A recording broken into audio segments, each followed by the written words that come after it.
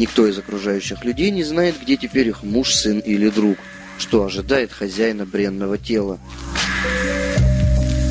Обезображенные старостью готовятся ко встрече со смертью. Страдая от многочисленных недугов, они съедают всего лишь горстку пищи в день и постепенно превращаются в калеку, неспособного больше передвигаться. В должный срок они попадают в объятия смерти. Смерть, подобно змее, жалит, вызывая телесную и душевную боль в человеке, страстно желающем жить. В этот момент человек видит Емадутов, посланников повелителя смерти. В Шримад Бхагаватам дается подробное описание их жуткого вида. Тела их ноги и уродливы, они черны, как вороны. Их зубы и когти заточены, как лезвия, а волосы стоят дыбом. В руках они держат арканы и веревки – Видя их, грешник испускает мочу и кал. Подобно тому, как стражи порядка арестовывают преступника, чтобы подвергнуть его наказанию, Емадуты берут под стражу грешника всю жизнь удовлетворявшего собственные чувства. Они затягивают петлю на его шее и забирают с собой, оставляя бездыханное тело, подобное выброшенной ненужной вещи, скорбящим родственникам.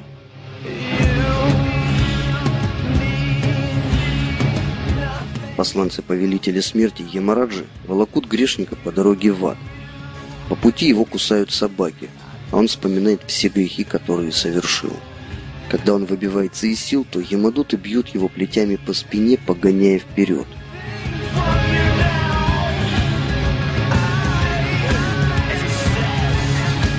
Уже скоро он слышит причитание толпы таких же грешников, ожидающих суда повелителя смерти, Ямараджи. Когда ему присужден приговор, Ямадуты хватают его и отправляют на адские планеты, где он будет отбывать наказание за свои грехи. Пребывание в аду не вечно. Суть ада в том, чтобы исправлять и воспитывать. Когда живое существо отбывает срок в аду, оно снова рождается на земле, но не помнит адские муки и райские радости. Однако в подсознании остаются впечатления о прошлом, которые определяют склонности человека – Естественный страх, который люди ощущают перед соблазнами порока, является последствием пребывания в адских районах Вселенной. Адские планеты находятся в промежуточном пространстве между тремя мирами и Вселенским океаном. Существует 8 миллионов 400 тысяч преисподних. Священные писания утверждают, что из них 28 адских планет самые ужасные. Грешники попадают туда на 4 миллиарда 320 миллионов земных лет – Неподалеку от них находится планета Питрилока, где живет повелитель смерти Ямараджа. Он соблюдает все правила и предписания, данные Верховным Господом. Согласно им, он выносит грешникам приговор, и Ямадуты отправляют грешника на одну из адских планет. Перед грешниками предстает огромное дерево. Ямадуты бьют других грешников, приковав их к дереву цепями. От этого ужаса грешника охватывает страх. В своей земной жизни завистливый человек совершает насилие по отношению ко многим живым существам. Поэтому после смерти такой человек попадает в ад, где те существа, которых он заставлял страдать, появляются в образе животных Руру, причиняющих ему страшную боль. Эрудированные ученые называют этот ад Рауравой. В нашем мире Руру не встречаются, однако известно, что они более завистливы, чем змеи.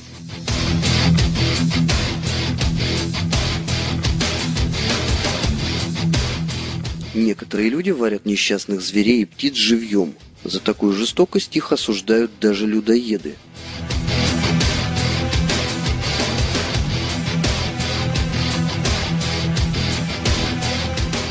За это их варят в кипящем масле в аду Кумбхипака.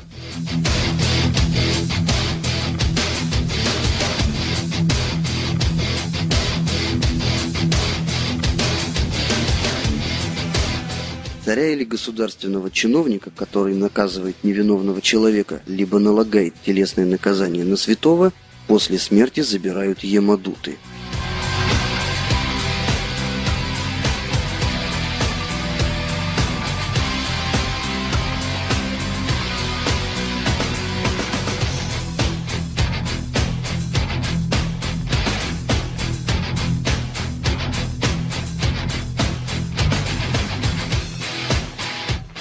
В аду Сукхара Мукха могучие помощники Ямараджи расплющивают его, как сахарный тростник. из которого хотят выжать сок.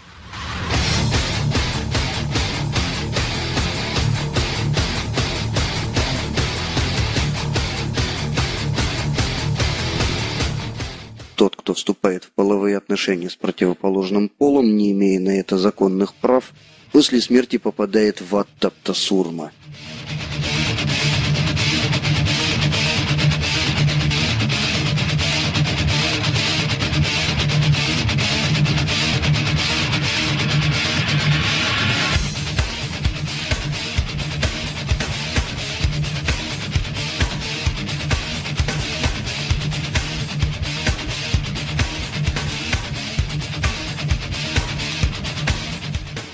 помощники Ямараджи избивают этих мужчин и женщин кнутами.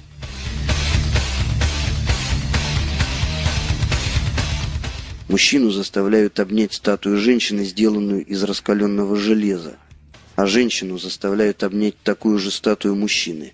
Так наказывают за незаконный секс. Представители высших сословий, которые в этой жизни берут своих собак, мулов и ослов, отправляясь на охоту, и развлекаются тем, что без всякой надобности убивают лесных животных, после смерти попадают в ад Пранародху.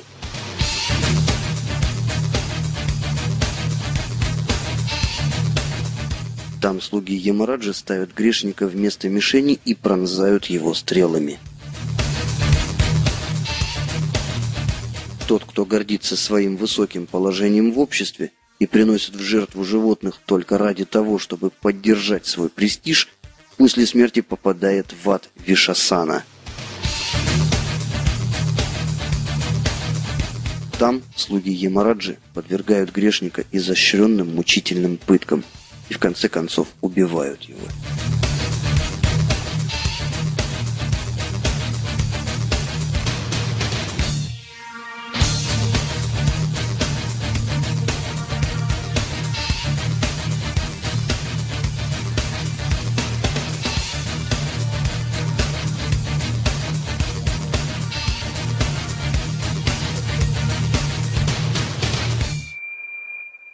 Некоторые выступают в этом мире в роли профессиональных грабителей, другие подсыпают яд в пищу, третьи устраивают пожары в городах, а члены царских семей или государственные чиновники порой грабят коммерсантов. После смерти они отправляются в ад под названием Сарамиятхана. На этой планете живут 720 собак с прочными, как молния, зубами –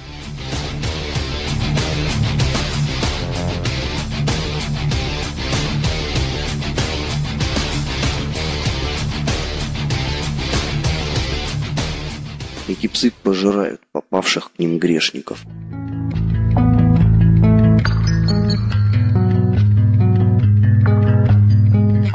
Если священнослужитель, подобно необразованным мирянам, ходит по барам и пьет хмельное, то он попадает в ад Аяхпана.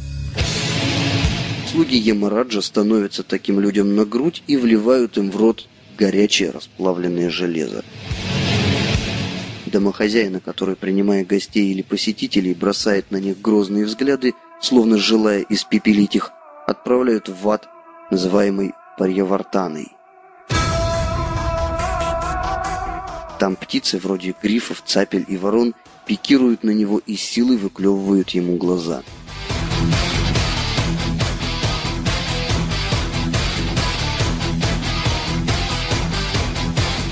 Если человек, обладающий знанием, убивает и мучает неразвитых существ, он, безусловно, совершает грех. Его ждет наказание в аду Андхакупа. Тот, кто попадает в Андхакупу, испытывает все те же страдания, что и существа низших видов.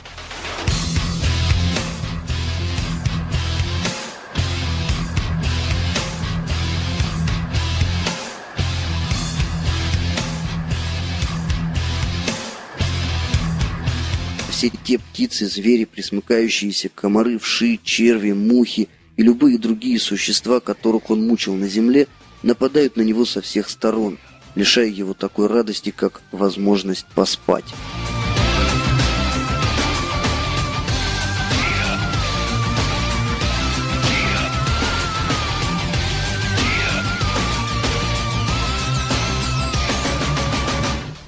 И это лишь малая толика из многих ужасных адов. Кто-то может не верить приведенным здесь описаниям адских планет и продолжать грешить. Но это не имеет значения, ему все равно не избежать приговора, который выносится по законам природы. Так утверждают священные писания.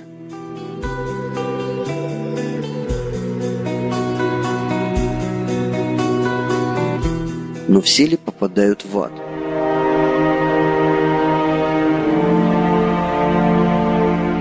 Ведах говорится, что те, кто совершает благочестивые поступки и не грешит, отправляются на райские планеты, где они могут услаждать свои чувства в течение ста тысяч лет –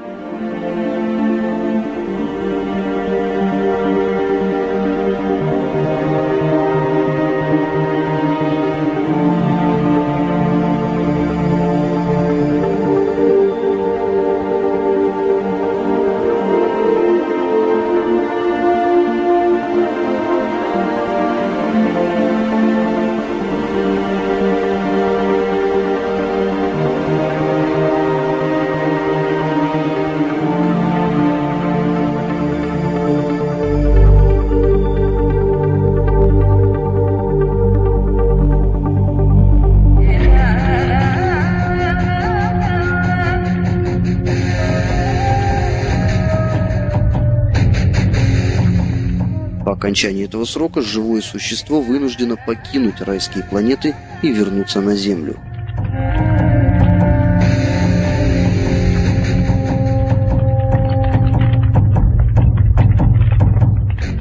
В этот век, носящий имя Кали, век войн раздоров, лжи и лицемерия, люди закрывают глаза и совершают один грех за другим –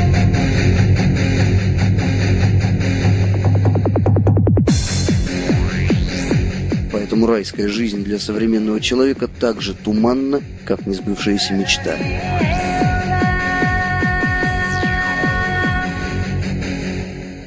Люди, не дожидаясь билета в обитель Ямараджи, создают ад на земле.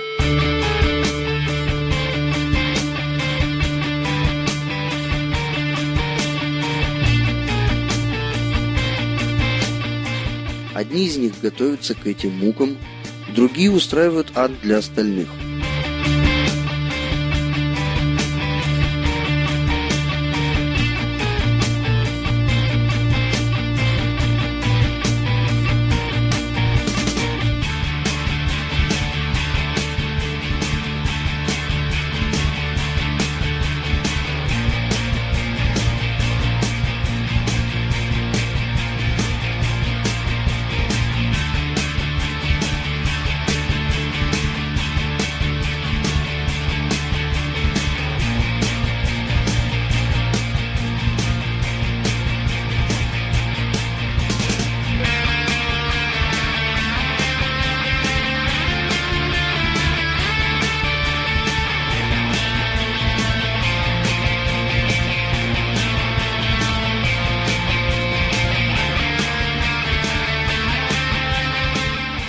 Даже сегодняшнее тело человека – это не что иное, как последствие его прошлой благочестивой и греховной деятельности. В Пуране дается описание некоторых признаков, отражающих прошлую греховную деятельность человека. Тот, кто ненавидел мать, отца или учителя, будет убит в чреве матери в течение тысячи воплощений –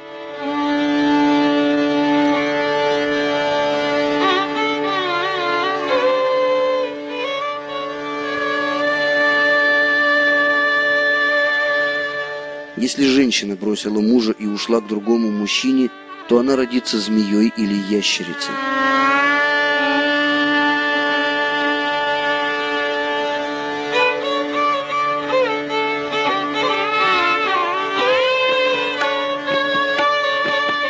За прелюбодеяние с несовершеннолетними человек станет большой змеей в лесу.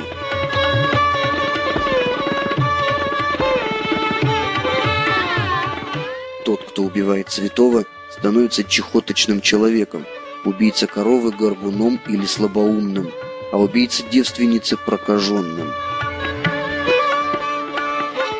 Если человек питается чьей-либо плотью, то он станет красным, а пьяницы и наркоманы будут иметь гнилые зубы.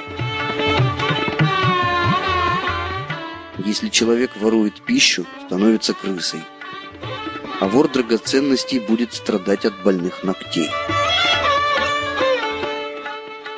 Отравитель родится душевно больным, поджигатель – лысым, продавец мяса – неудачником, а тот, кто ест мясо – больным. Тот, кто пнет святого или корову, родится хромым и увечным. Лгун родится заикой, а кто слушает такого лжеца, родится глухим. Все эти грешники, пройдя через самые страшные ады, родятся на этой планете с багажом последствий своих грехов – Воплощаясь в различных формах жизни, живое существо получает тело человека. Когда мужчина и женщина соединяются, оно становится эмбрионом в должный срок. Испытывая страдания от зачатия до смерти, оно снова умирает. Как же человеку избавиться от страданий и выйти из круговорота рождений и смертей? Без сомнений, причину наших страданий нужно искать в греховных поступках. Тем, кто пытается наслаждаться плодами своего труда, не избежать греха, и такие люди могут воспользоваться различными способами искупления грехов. Веды объясняют, как навсегда избавиться от склонности к греху. Шримад Бхагаватам рассказывает такую историю. В юности Брахман Аджамила изучал священные писания, был чистоплотным и очень добродетельным. Джамила всегда говорил только правду. Он чтил духовного учителя, гостей и старших. Ему была чужда гордыня. Он никому не завидовал и держал в узде ум и чувства. Однажды Аджамила пошел в лес за плодами и хворостом.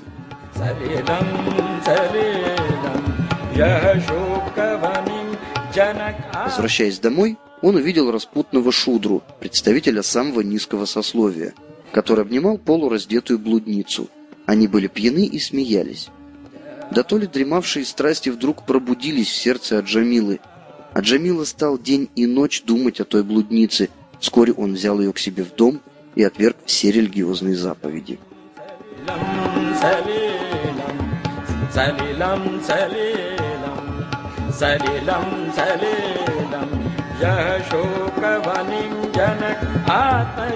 Он стал промышлять воровством, разбоем и игрой в кости – в заботах о десяти сыновьях и распутной жене текла его порочная жизнь. И вот ему исполнилось 80 лет. Больше всего на свете Аджамила любил своего младшего сына, который носил имя Бога. Отец с матерью души не чаяли в своем малыше. Забавный лепет ребенка и его неловкие движения пленяли сердце старого Аджамилы. Имя мальчика не сходило с его уст. Поглощенный заботами о сыне, Аджамила не заметил, что жизнь подошла к концу и смерть уже близка. Неожиданно Аджамила увидел трех наводящих ужас существ. Они пришли, чтобы забрать его в ад. В смятении Аджамила стал звать своего любимого сына, игравшего неподалеку. Со слезами на глазах он, сам того не ведая, произнес святое имя Бога. Подручные Ямараджи уже тащили душу из сердца Аджамилы, мужа распутной женщины – когда их остановил громовой голос вестников Господа Вишну. Повторив святое имя Бога в конце жизни, Аджамил искупил все грехи, совершенные за множество жизней, и уничтожил семена греховных желаний в своем сердце. Ни покаяние, ни ведические обряды не очистят грешника так, как очистит его всего лишь раз произнесенное имя Господа. Звук святого имени напомнит о величии личности Бога и пробудит человека к преданному служению – Шримад Бхагаватам утверждает, тому, кто искренне хочет уничтожить в себе семена греховных желаний и выйти из круговорота рождений и смертей, нужно всегда повторять святое имя, вознося хвалу величию и деяниям Верховной Личности Бога. Только так можно в полной мере искупить свои грехи, ибо святое имя навсегда очищает сердце от скверны. Просто искренне повторяя святые имена Бога, человек обретает все благое и в конце жизни возвращается в духовный мир.